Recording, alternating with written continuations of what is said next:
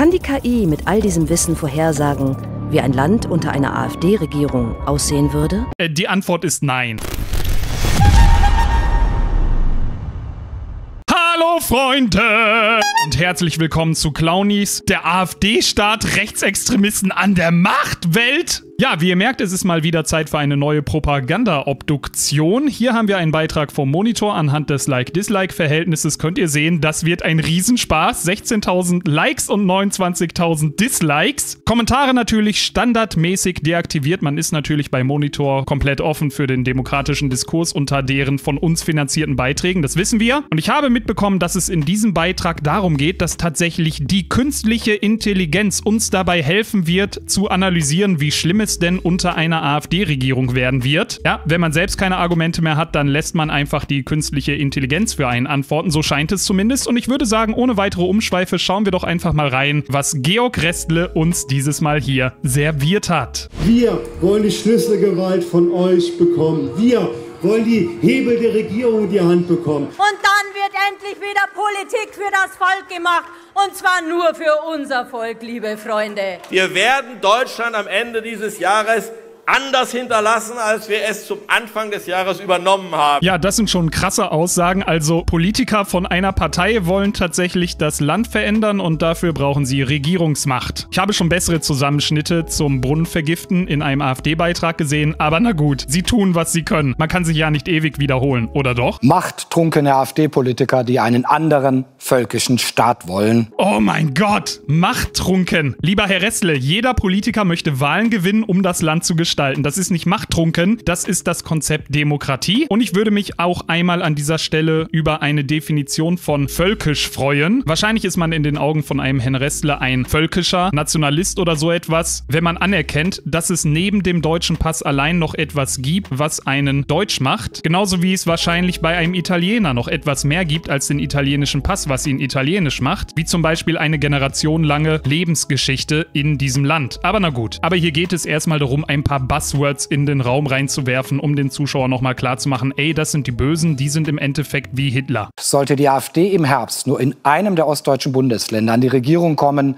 könnte sie nicht nur Gesetze machen, sie könnte auch Schlüsselpositionen in Justiz, Polizei und Verwaltung besetzen, Einfluss aufs Verfassungsgericht nehmen und die Medienlandschaft auf ihren Kurs bringen. Ja, das ist doch eigentlich eine relativ ehrliche Äußerung, Herr Ressle. Das heißt im Umkehrschluss, dass die momentan regierenden Parteien genau das können, was er gerade geschildert hat. Sie können also Verwaltungsgerichte besetzen, sie können also die Medienlandschaft auf ihren Kurs bringen, was ja offensichtlich geschehen ist, denn schließlich haben wir kein Format, was genauso rechts ist, wie ein Georg Ressle links ist. Also an dieser Stelle erfrischend ehrlich, auch wenn er es natürlich nicht im guten Sinne geäußert hat, hat er hier gerade offenbart, dass dass also eine Regierung, dass Parteien, die an der Macht sind, Einfluss auf die deutsche Medienlandschaft nehmen können, was sie ja offensichtlich gerade tun. Schließlich haben wir in den Rundfunkräten sogenannte CDU und SPD Freundeskreise. Kai Gnifke, der Chefintendant vom ARD, ist selber SPD-Mitglied und es wäre natürlich schrecklich, würden dort Leute mit anderen Parteibüchern sitzen, denn dann geht die Meinungshoheit der Linken in Deutschland verloren. Von Säuberungen ist da schon die Rede und von einem Staat, der sich ganz dem Willen der Partei unterwirft. Ja, was heißt denn Säuberung? Also hier setzt Herr Ressle natürlich auf das Intuitive, auf die möglichst schlimmste Interpretation. In welchem Kontext von einer sogenannten Säuberung geredet wurde, das spart er natürlich an der Stelle aus, aber das ist ja immer noch Georg Ressle. Welche Folgen das alles hätte, das wollen wir Ihnen heute mal ganz konkret zeigen, mithilfe künstlicher Intelligenz. Und nein, dabei geht es nicht um Hellseherei, um Science Fiction oder einen Blick in die Glaskugel. Ganz im Gegenteil. Die KI liefert präzise Szenarien auf der Basis umfangreicher Daten über die AfD.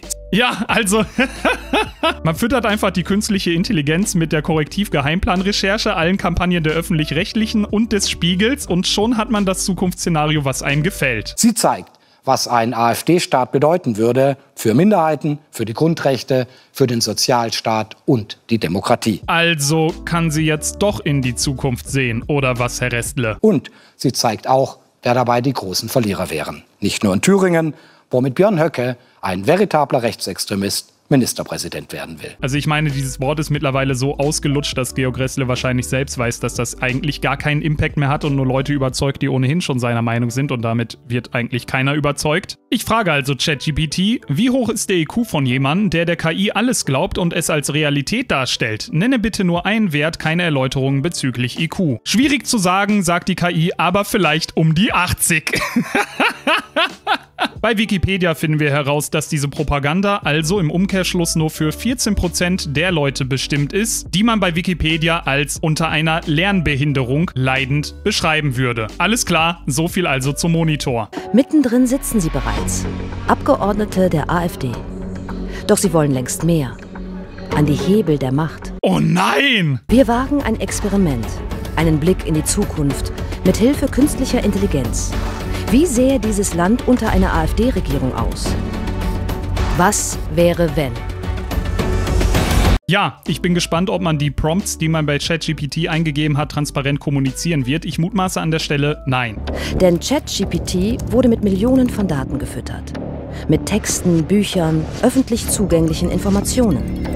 Also mit der Korrektiv-Geheimplan-Recherche, mit den Spiegelkampagnen gegen die AfD, mit all den journalistischen Schundwerken, die hier das Aufflammen des nächsten Dritten Reiches prognostizieren, all das bezieht ChatGPT also in seine Einordnungen ein, genauso wie auch die Verfassungsschutzberichte eines weisungsgebundenen Verfassungsschutzes, der dem Innenministerium unterstellt ist, bei dem zum Beispiel in Thüringen ein Borderline-Linksradikaler den Präsidenten stellt, der selber Mitglied in der Amadeo Antonio Stiftung ist und zwar dort im Stiftungsrat sitzt. Der Verfassungsschutz ist längst zu einer Behörde geworden, denen der Großteil der Menschen in Deutschland nicht mehr traut. Kann die KI mit all diesem Wissen vorhersagen, wie ein Land unter einer AfD-Regierung aussehen würde? Äh, die Antwort ist nein. Wir beginnen unser Experiment. Schreibe eine Drehbuchszene. Die AfD regiert in Deutschland und hat ihr Konzept der Remigration durchgesetzt. Welche Auswirkungen hat das? Wie hat sich das Land verändert? ChatGPT antwortet und schreibt wortwörtlich folgende Szenen. Ein modernes Büro, jedoch viele leere Schreibtische. Ein Mittelalter-Manager spricht besorgt mit einem Kollegen. Der Manager? Die Abwanderung von Fachkräften und kreativen Köpfen hat uns hart getroffen. Unsere Wirtschaft leidet enorm. Ja, die Wirtschaft leidet enorm. Wir haben Berechnungen von Professor Raffelhüschen, die belegen, dass es sich bei der Zuwanderung um ein billionenschweres Minusgeschäft handelt. Dann haben wir noch die gute alte MENAP-Statistik vom dänischen Finanzministerium. Auch die macht klar, dass die Migration aus vor allem muslimischen Ländern, also den sogenannten MENAP-Staaten, unterm Strich im Beitrag zu den Staatsfinanzen ein Minusgeschäft darstellt. Eine ähnliche Studie haben wir jetzt aus den Niederlanden geliefert bekommen. Hier in Deutschland möchte man diese Studie nicht machen, aber man kann hier ganz wild raten, dass wenn in einem Land Bürgergeldempfänger ohne deutschen Pass nahezu 50 Prozent der Bürgergeldempfänger stellen, das Bürgergeld offenbar ein Magnet für die Migration darstellt und dass wir dieses Konzept Bürgergeld daher fundamental überdenken sollten. Das wäre dann im AfD-Konzept der sogenannte soziale soziale Patriotismus. Ich bin mir an dieser Stelle aber nicht sicher, ob ChatGPT dieses Konzept wirklich in sich trägt, um darauf basierend realistische Zukunftsszenarien zu zeichnen. Denn im Kern würde er darin bestehen, dass man eben nicht einfach einwandern kann und sofort ohne einen Tag gearbeitet zu haben ins Bürgergeld kommen kann. vor einer kleineren Klasse von Schülern steht. Die Lehrerin? Wir werden heute über die Veränderungen in unserer Gesellschaft sprechen. Wie fühlt ihr euch dabei? Tom? Es ist seltsam. Einige meiner Freunde sind nicht mehr hier. Sie mussten mit ihren Familien gehen. Ich vermisse sie. Okay, also wir haben eine Situation in den Schulen, wo nicht ein Lehrer auf 40 Schüler kommt und damit einen besseren Unterricht machen kann. Das ist jetzt das schlimme Zukunftsszenario, dass Lehrkräfte nicht mehr überfordert sind, vor allem an Brennpunktschulen. Was die KI beschreibt, nennt die AfD Remigration und die beträfe Millionen. Ja, da kann man ja mal zusammenrechnen. Im Endeffekt beschreibt dieses Konzept an allererster Stelle, dass Islamisten und Clankriminelle das Land verlassen müssen. Sofern eine deutsche Staatsbürgerschaft gegeben ist, wird das alles in rechtsstaatlichen Bahnen gelöst werden. Es werden positive Anreize geschaffen, sich entweder in die Gesellschaft zu assimilieren oder diese sogar gegen Geldzahlung einfach zu verlassen. Dann geht es um die Abschiebung von straffällig gewordenen, geduldeten guten Asylbewerbern, die Abschiebung der ohnehin Ausreisepflichtigen, das ist knapp eine Drittelmillion momentan, und dann gibt es noch die diversen Gruppen der Flüchtlinge, die 2015 vor allem aus Syrien zu uns gekommen sind. Auch diese Leute müssen zurück in ihre Heimat und ihr Land aufbauen. Der Sinn von Asyl ist nicht eine dauerhafte Einbürgerung, sondern den Leuten Schutz zu geben, solange der kriegerische Konflikt noch herrscht. Dieser Krieg in Syrien ist vorbei und das ist keine extremere Forderung als das, was ein Christian Lindner damals schon 2017 in der Bild gefordert hat. Es ist nichts anderes als das Umsetzen von Recht und Gesetz. Wir werden auch ohne Probleme mit 20, 30 Prozent weniger Menschen in Deutschland leben können. Ja, und hier wieder der klassische manipulative Ausschnitt. Haben wir schon in vielen Dokumentationen gesehen, kurz umschrieben. Hier geht es um einen Bürgerdialog, soweit ich weiß, in Gera, das sehen wir auch da hinten. Und dort hat ein Zuschauer eine zweiteilige Frage gestellt. Der erste Teil bezog sich auf die Abschiebungen und der zweite Teil bezog sich auf den demografischen Wandel, der aufgrund der geringen Geburtenraten in Deutschland natürlich eine Realität werden wird, wenn er das nicht ohnehin schon ist. Die Bevölkerung wird überaltern, zeugen weniger Kinder und aufgrund dieser Tatsache wird die deutsche Bevölkerung langfristig um mehrere Millionen schrumpfen. Darauf nimmt Höcke Bezug und sagt, es wird auch möglich sein, mit einigen Millionen weniger klarkommen zu können. Und damit bezieht er sich auf den demografischen Wandel, der aus den geringen Geburtenraten resultiert. Hier stellt man das in den Kontext der Remigration und strohmannt damit immer, dass ein Höcke irgendwie 20 Millionen Menschen abschieben wollte. Das ist und bleibt einfach falsch, aber dieser Ausschnitt wird immer und immer wieder verbreitet, auch in den öffentlich-rechtlichen, die ja doch so seriös sind. Ich habe den Ausschnitt im Detail Detail schon in einem meiner letzten Videos auseinandergenommen. Könnt gerne hier klicken, wenn ihr das nochmal im Detail erfahren wollt. Man ist eine Gemeinschaft an einem Ort, eine Gemeinschaft der Ähnlichen und ähnlich ist man geworden über kollektive Selektionsprozesse. Also ich meine, was war an dieser Aussage falsch? Den Assimilationsdruck erhöhen, heißt es bei Björn Höcke und anderen AfD-Spitzenpolitikern.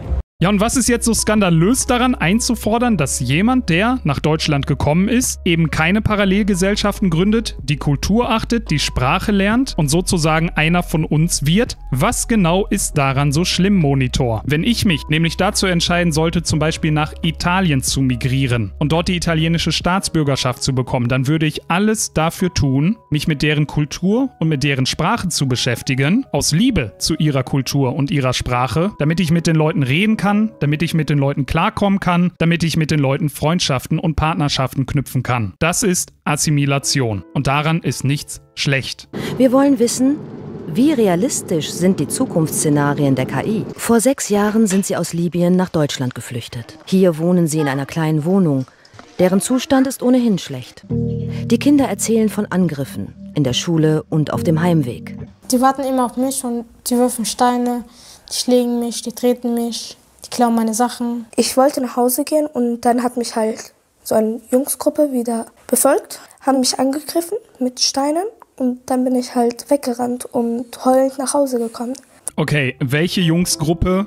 Warum wurde das nicht zur Anzeige gebracht? Ich kann diese Geschichten nicht für voll nehmen, wenn ich keine Belege dafür bekomme, dass sie sich so zugetragen haben. Gerade weil wir hier bei Monitor sind, bin ich hier besonders kritisch und das Ganze deckt sich eben nicht mit anderen Erfahrungen, die wir aus Thüringen respektive Sonneberg schon gehört haben, wie zum Beispiel von diesem Somalier hier. Gibt es keine Probleme, kein Rassismus.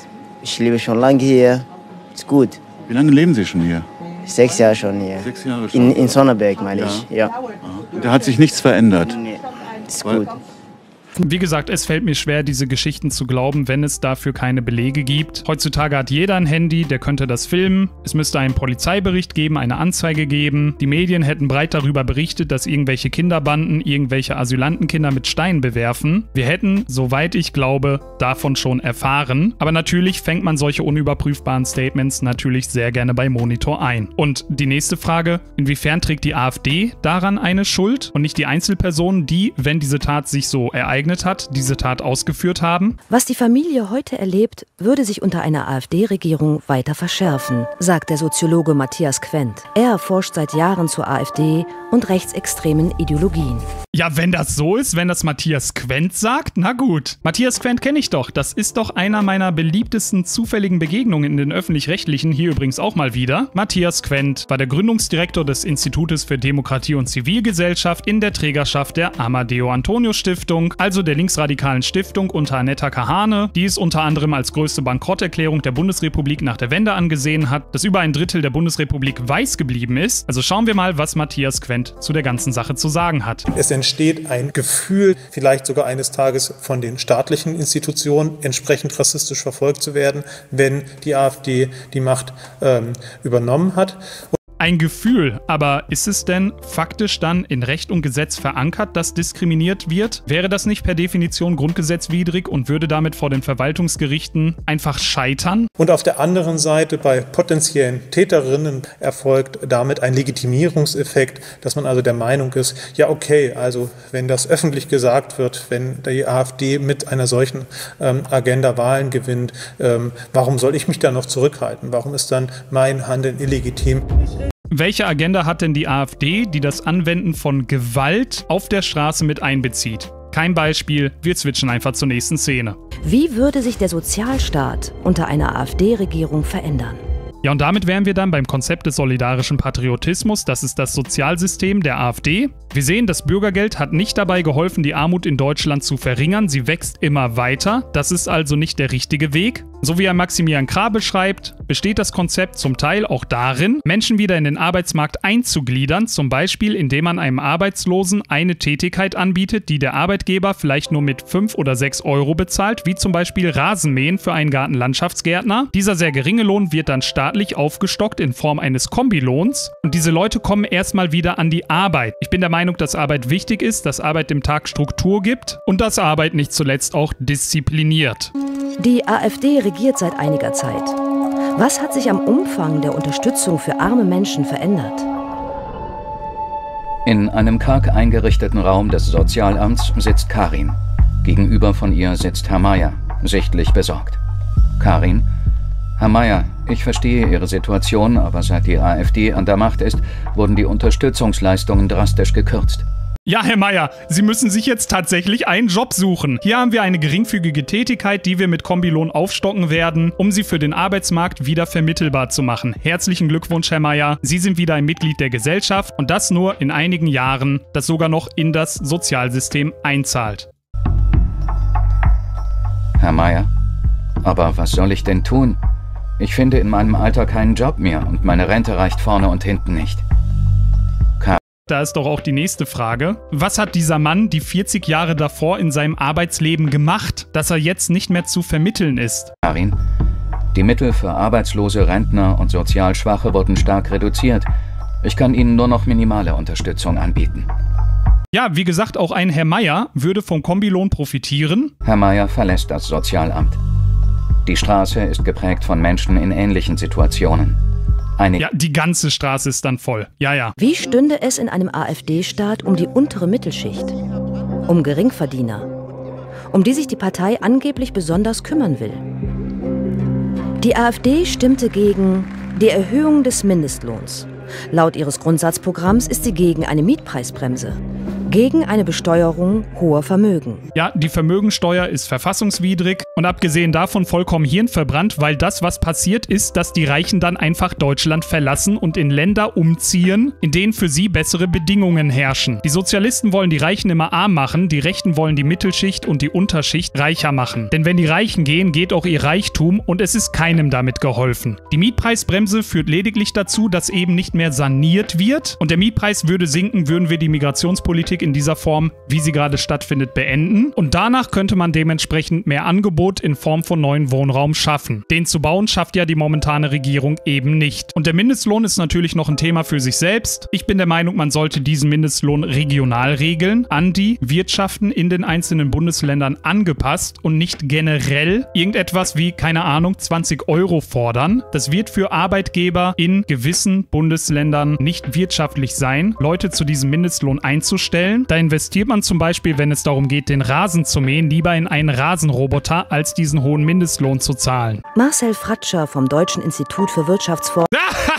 Marcel Fratscher. Let's go, der Mann, der immer falsch liegt. Wie gesagt, Marcel Fratscher glaube ich kein einziges Wort mehr. Er hat im Jahr 2016 verkündet, dass die Flüchtlinge, die 2015 und 16 zu uns gekommen sind, die Renten der Babyboomer zahlen werden. Der momentane Stand spricht eindeutige Bände. Nein, das werden sie nicht. Marcel Fratscher liegt immer falsch und äußert sich nur so in dieser Art und Weise, um als wissenschaftlicher Experte eingeladen zu werden, der die AfD auf wirtschaftlicher Ebene schlecht dastehen lassen soll. Wenn die AfD ihre Konzepte, ihre Ideen in der Wirtschafts-, Finanzpolitik, in der Sozialpolitik, in der Gesellschaftspolitik umsetzen könnte, dann hätten wir nicht nur ein sehr viel ärmeres Land wo, mit vielen Millionen Arbeitslosen, sondern auch ein viel stärker politisch und sozial polarisiertes Land.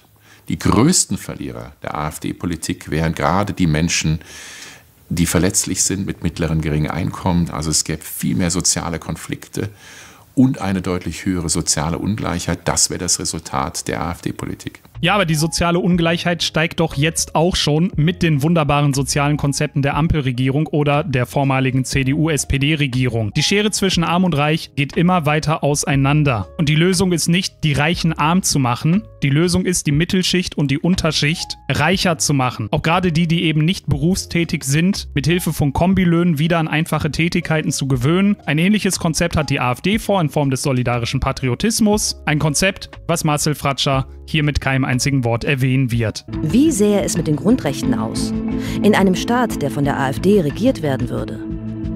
Was würde. Ja, wie sah es denn mit den Grundrechten aus in einem Staat, der von Angela Merkel und der SPD oder von der Ampel regiert wurde in der Corona-Zeit? Wie sah es da mit den Grundrechten aus, Monitor? Wurde da vielleicht ein verfassungswidriges Infektionsschutzgesetz abgestimmt, was laut der Expertenkommission des Bundestages zur Aufarbeitung der Maßnahmenpolitik de facto verfassungswidrig war? Wie sah es mit den Grundrechten aus, als man Leuten den Zutritt zu Restaurants und Geschäften verwehrt hat, sofern sie sich nicht haben testen lassen, ihr Gesicht verhüllt haben oder sich haben impfen lassen? Wie sah es mit den Grundrechten aus, als der Staat im Bundestag abgestimmt hat, um die Leute hineinzugängeln, bei der Politik mitzumachen und sich impfen zu lassen? Wie sah es da mit den Grundrechten aus? Es für kritische Stimmen bedeuten, für Medien und Journalisten, für die Meinungsfreiheit. Jetzt haben schon 50 Prozent der Bürger das Gefühl, dass sie ihre Meinung gerade in Reizthemen wie Migration nicht frei äußern können, weil ihnen Repressionen entgegenkommen. Auch dazu hat die künstliche Intelligenz ein Zukunftsszenario entworfen. Natürlich hat sie das. Die AfD regiert in Thüringen. Welche Auswirkungen hätte das auf die Pressefreiheit? In einem Redaktionsbüro herrscht eine angespannte Atmosphäre. Journalisten blicken hin und wieder besorgt zu ihrem Chefredakteur, Herrn Weber, der in ein Telefonat vertieft ist. Herr Weber? Verstehe. Ja, aber das schränkt unsere Berichterstattung erheblich ein. In Ordnung, ich werde es dem Team mitteilen. Er tritt aus seinem Büro. Herr Weber? Leute, wir müssen über einige Änderungen sprechen. Es gibt jetzt Richtlinien für unsere Berichterstattung. Journalistin. Ja, und die gibt es in den öffentlich-rechtlichen jetzt gerade nicht. Ich meine, wir haben doch einen ganz aktuellen Fall aus Bad Oeynhausen. Da hat die Polizei den mutmaßlichen Haupttäter bereits gefasst. Es handelt sich um einen mehrfach polizeibekannten Syrer, der 2018 nach Deutschland gekommen ist. Das wird auch transparent bei der Welt so kommuniziert. Aber in den Redaktionsstuben der Tagesschau hat man sich offenbar dafür entschieden, diese Information auszusparen. Das geschieht ja nicht aus Versehen. Also da gibt es ja jetzt schon Vorgänge, bei denen man darüber diskutieren kann, ob durch politische Einflussnahme von verschiedenen verschiedenen Redakteuren die Berichterstattung verzerrt wird oder extra wichtige Fakten ausgespart werden. Was für Richtlinien? Wer bestimmt das? Herr Weber, die neuen politischen Führer. Sie haben Druck auf die Verlagsleitung ausgeübt. Bestimmte Themen sind jetzt tabu und bei anderen müssen wir, sagen wir, vorsichtig sein.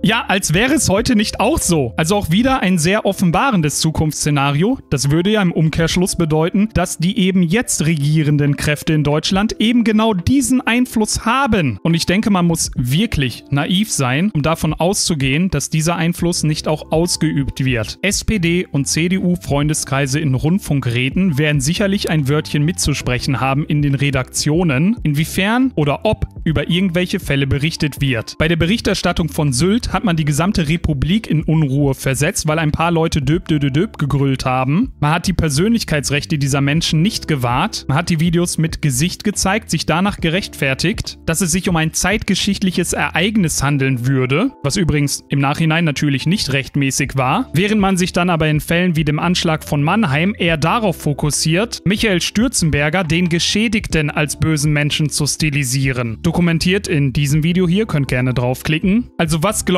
ihr? Finden diese Gespräche nicht schon längst in den öffentlich-rechtlichen Redaktionen in dieser Form statt, dass Tabuthemen ausgespart werden man lieber politisch narrativgetreu berichtet? Ich meine ja. Eine AfD-Regierung, die Druck auf kritische Journalisten ausübt?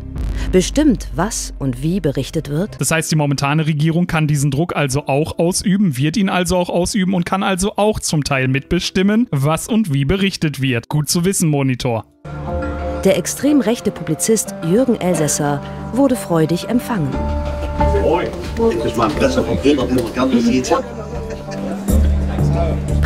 Ja, man sieht ihn gerne, weil er der AfD halt kein reinwirkt, sondern wahrscheinlich eher pro AfD ist. Ja klar. Wie gerne sieht man denn einen Kompaktjournalisten oder einen Newsjournalisten auf einer linken Veranstaltung? Freiheit offenbar nur für jene, die im Sinne der Partei berichten. Uns dagegen versuchte man hier den Zutritt zu verweigern. Ja, weil die öffentlich-rechtlichen noch keinen einzigen fairen Beitrag über die AfD respektive Björn Höcke gemacht haben und Björn Höcke jetzt einfach den öffentlich-rechtlichen keine Interviews mehr geben möchte. Das haben die sich halt auch einfach verspielt. Zum anderen wird hier nur von einem Versuch gesprochen. Heißt das also nicht im Endeffekt, sie sind dann doch reingekommen und das Argument von ihnen zerfällt? Weil sonst hätten sie ja gesagt, sie wurden dann auch nicht reingelassen. Na gut, kann ich schwer überprüfen. Vor dem Saal kam uns der AfD-Bundestagsabgeordnete Jürgen Pohl entgegen. Doch zwölf. Wissen Sie das? Zwölf Monate, da hat Thüringen gewählt und wir können den, den Rundfunkstaatsvertrag, den, den Witz wollte ich unbedingt heute reißen. Nur ein Witz oder meint ihr das ernst? Also, das meine ich ja. Ja, ihr seid dann halt euren Job los. Tut uns leid an der Stelle. Aber das ist ja nun mal die freie Entscheidung einer Regierung, die dann Regierungsmacht hat. Der öffentlich-rechtliche muss grundlegend neu aufgebaut bzw. reformiert werden und die Leute sollen nicht zur Kasse gebeten werden für ein Produkt, was ihnen erstens nicht gefällt und für das sie sich nie frei entscheiden konnten. Das ist einfach nicht gerecht. Von daher in meinen Augen geht da nicht viel verloren. Lokalfernsehen kann auch immer noch kommunal organisiert werden oder auf Landesebene staatlich bezuschusst werden. Das kann ja noch funktionieren, aber das Prinzip öffentlich-rechtlicher mit GEZ, wo man bei Nichtzahlung auch gerne mal im Falle von Georg Thiel hinter Gittern wandert, das muss ein Ende haben. Den Rundfunkstaatsvertrag kündigen, die Meinungsvielfalt einschränken? Könnte ein AfD-Ministerpräsident das einfach so?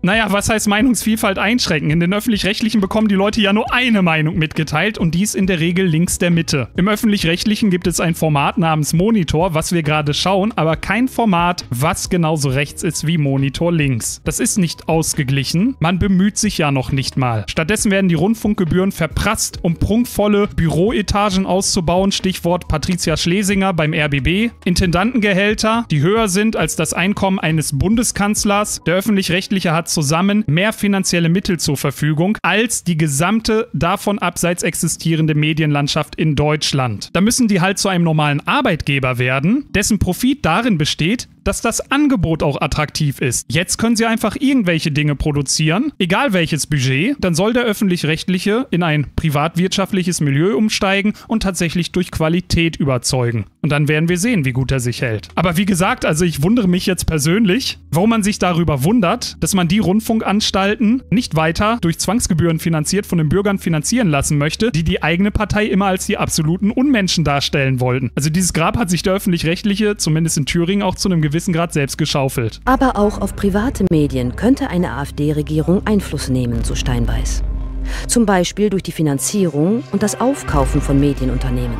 Äh, ja, und die Medienhäuser können sagen, nein, wir wollen euch nicht als Anteilhaber und wir wollen nicht mit euch zusammenarbeiten. Das ist ihre Freiheit. Und natürlich wird auch jetzt schon politischer Einfluss auf private Medien ausgeübt. Insofern, als dass sie sich ihr Prestige eben verspielen, sollten sie zum Beispiel mit AfD-Sympathisanten reden. Wie zum Beispiel neulich passiert bei unserem lieben Freund Irfan Pezi, der eigentlich für das Galileo-Format 10 Fragen auftreten sollte. Mich hat diese Produktionsfirma, die für Galileo produziert, angefragt für dieses Format 10 Fragen. Und dann hat sie so telefoniert und dann meinte die irgendwie so, ja, ich habe gesehen, Sie haben auch Fotos mit AfD-Politikern. Ich habe gesagt, äh, was hat das damit auf sich? Ich so, ja, ich, ich bin kein Mitglied, ich, ich habe keine Funktion, aber ich unterstütze die AfD, weil die macht für mich die vernünftigste Politik. Ja, okay und so weiter. Und dann kam heute eine Absage. Ich wollte Ihnen mitteilen, dass wir unsere Drehanfrage in Sie zurückziehen werden. Der Hauptgrund ist, dass Sie ein Sympathisant der AfD-Partei mhm. sind.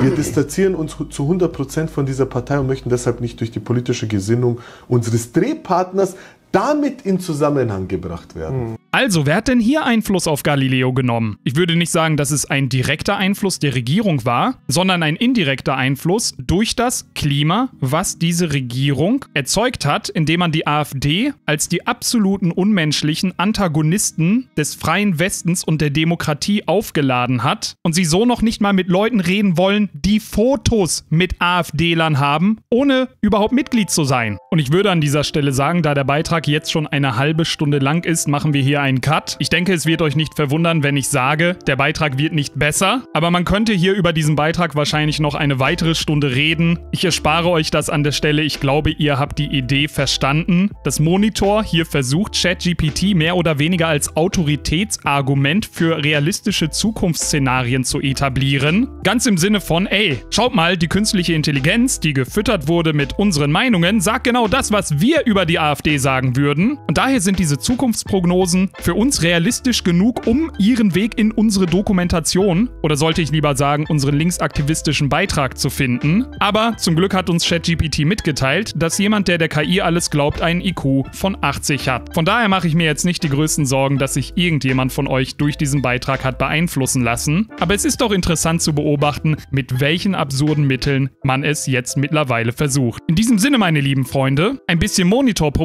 Monitor-Propaganda-Obduktion schadet nie und PC.